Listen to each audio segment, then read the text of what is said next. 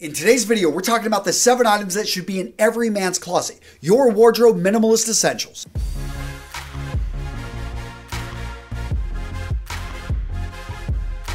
So let's start things off with footwear. I think every man in his minimalist wardrobe needs to have at least one pair of casual shoes, one pair of dress shoes, and one pair of boots. So when it comes to casual shoes, you got a lot of options out there. Maybe start off with a white sneaker. This, what's great about this, it's going to work with a wide variety of outfits. The only downside, it's going to get dirty pretty quick. But let's say you want to keep it clean, you don't really want to deal with any stains, then go with a solid black, especially right here in the sole. This right here is going to hide any scuff marks. But let's say you want something that's going to stand out from the crowd. So you bring in something like this. It's going to have the navy blue, a bit of suede, going to have that dark brown. Again, look great with jeans, going to stand out from the crowd. But you want to bring in something even a step up. Then what you want to focus in on is the sole. You want to go with a more, basically more delicate, a smaller, thinner sole. This is going to be a step up. The green suede in here though is going to make this a little bit harder to match. But let's say you want to even dress it up a bit. Then you could go with something that has a classic dress shoe design, but maybe has a suede, has a perforated leather as something like this. This is going to be dressier.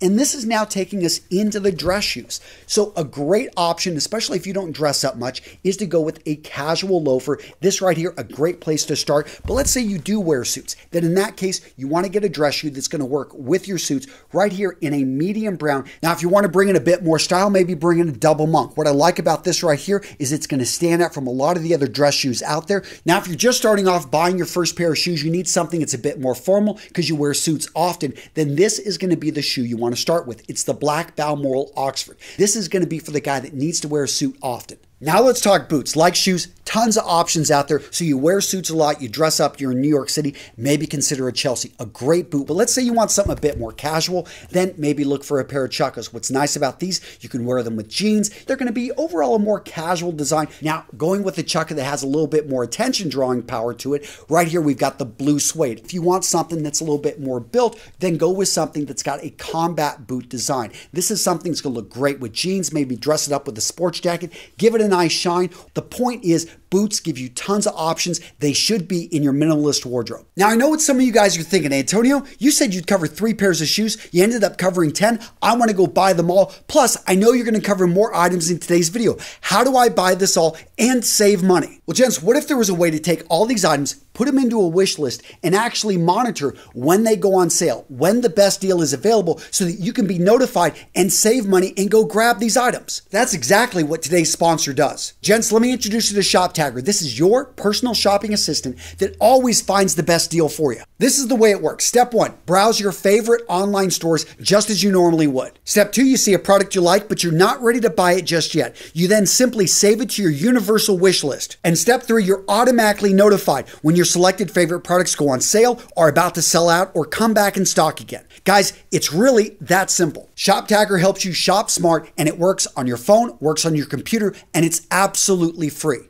What I love about this, guys, is it's saving you money. It doesn't cost you anything. You're putting these items that you know you want to have for your interchangeable core wardrobe in your wish list. And when they drop below a certain price or they go on sale, you're notified. So you're saving money and you're building your interchangeable wardrobe. Shoptagr works at over 3,000 stores, and it's not just clothing. Guys, if you're gonna pick up a new fragrance, you're gonna pick up a new computer or a new camera. You wanna use Shop Shoptagr, it's gonna save you money. Gentlemen, I'm linking to Shoptagr down in the description. Use that link to install it on your phone, on your computer. This is gonna save you money. It's absolutely free. Download and use this tool. The next item in your minimalist wardrobe, pants, AKA trousers. So there's a wide variety here. Let's break out the exact details two pairs of dark colored denim. You can dress it up, you can dress it down. In the United States and most of the world, this is going to be an incredibly versatile pair of trousers. Make sure that these fit you. Very important. And you want to go for a style that complements your body build. Now, what types of denim work for each body build? Guys, I've got an infographic right here, which by the way, I will also link to it down in the description. Next up, we've got slacks, and you should have at least two pairs.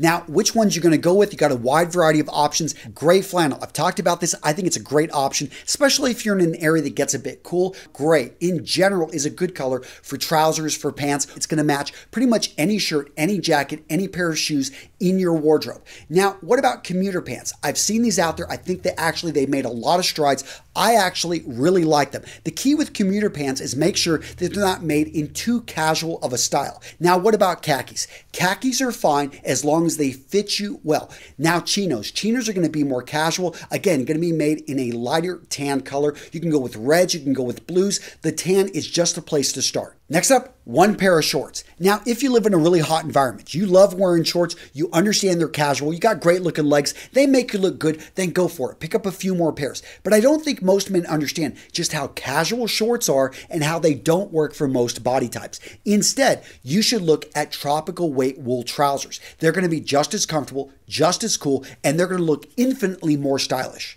Next up, we've got collared shirts, two main families here. We've got dress shirts and collared button downs. Now, dress shirts, these are going to be the most formal of the collared shirts. They're made to be worn as an underpiece, so you should have a jacket that's going over them. Now, how do you identify a dress shirt? A dress shirt normally is going to have one pocket on the side or no pockets, and it's not going to have epaulets. It's not going to have any stylistic design. It's going to normally be a solid color, but you will see them in stripes and you are going to see them in check patterns. Now, with casual button downs, as the name implies, these shirts are going to be styled in a way that they're much more casual. So, we're going to see a wider variety of styles and patterns. Maybe we're going to see double pockets with buttons, on the chest. We're also going to see maybe a tab over here that allows you to roll up the sleeve and to basically hold it there. We're also going to see epaulets perhaps on the shoulders. When we look at the collars, we could see a button down. When we look at the front placket, we may actually see contrasting fabrics in on here. These are all casual button down features. Now, I do think every man should have at least seven button down shirts. If you're going to be wearing suits, sports jackets,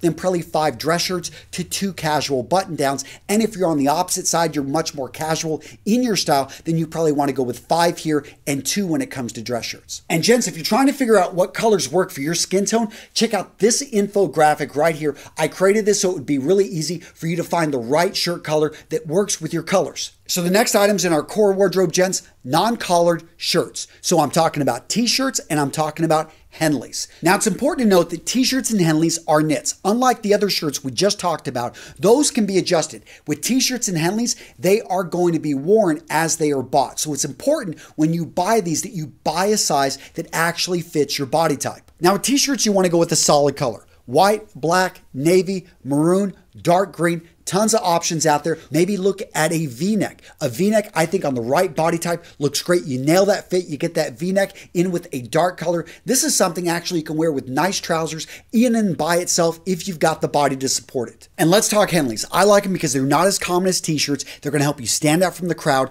Short sleeve, long sleeve really depends on you. I like the long sleeve because again, you can just roll it up a bit. Again, a great option, a great alternative to the t-shirt. Next up, we've got the suit, sports jacket, and blazer. And I think two in every man's wardrobe. You can go with a mix. If you're a bit more conservative, you wear a suit every day. Of course, you're going to want to have more than just two. So, what's the difference between a suit, a sports jacket, and a blazer? A suit is going to have a jacket and a trouser made from the same material. In general, we're going to see suits in darker colors. Sports jackets, they're going to come in a wide variety of colors, lighter colors like this. This is a sports jacket. Now, with blazers, we're going to oftentimes see in a darker color color. Traditionally, we're going to see navy. They're going to sometimes have a nautical theme. So we're going to see a gold button, sometimes with a little anchor on it. Now let's talk outerwear. Two pieces here. I want to see one that's high style. I want to see one that's high function. So the high function piece, this is going to be something to protect you from the elements. If you're in an extreme weather place, maybe northern Minnesota, in that case, yes, you want to go with a parka and you're probably going to need a few other jackets.